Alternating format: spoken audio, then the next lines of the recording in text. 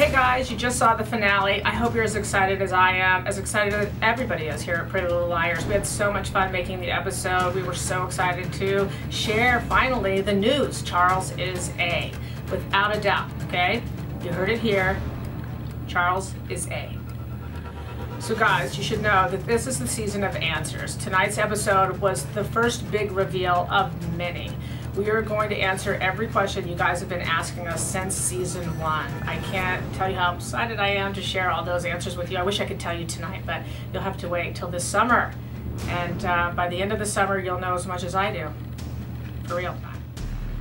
This summer, there's also going to be the mystery of another missing girl coming into our show. So that's something you don't want to miss.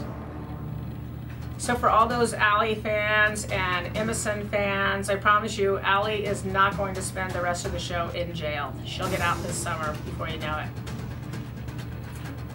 I'm also really excited to tell you guys that Rumor Willis is coming back to the show this summer. You're going to see her very soon, and hopefully she'll dance her way over to our sets.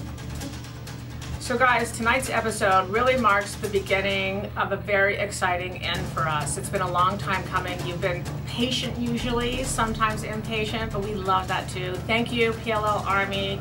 Thank you, PLL family, from everybody here, from the bottom of my heart to you guys. Thanks for making this happen. We're here for you and you're here for us and we love you guys, totally.